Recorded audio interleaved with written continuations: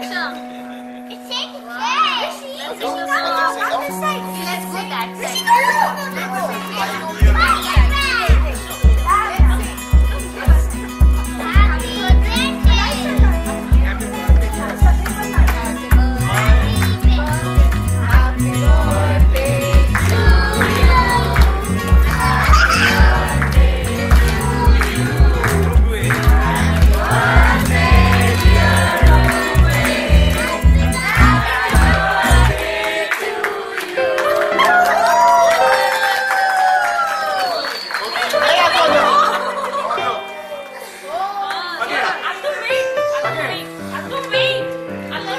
Again.